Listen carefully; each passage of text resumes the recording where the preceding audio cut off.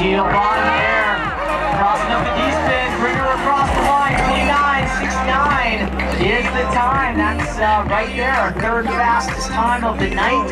Great skiing. And that's, you know what's awesome about that, Josh, is she's a young skier. And, and she's the final person to go. And just to, to see her come down here like that, that of that run. Real nice skiing. Those knees pumping up and down. Comes into that bottom air. Wraps up the knee. Crossed up. Puts it down on her feet. This is the run she was looking for. The judge's hands now. That was dynamic, smoke and run, especially with the pressure that was right there. So great stuff for the youngster. And Morgan Schild, I am proud of you, regardless of what the judges do. That was awesome. That's a top three for sure. Can she take the podium? That's the question.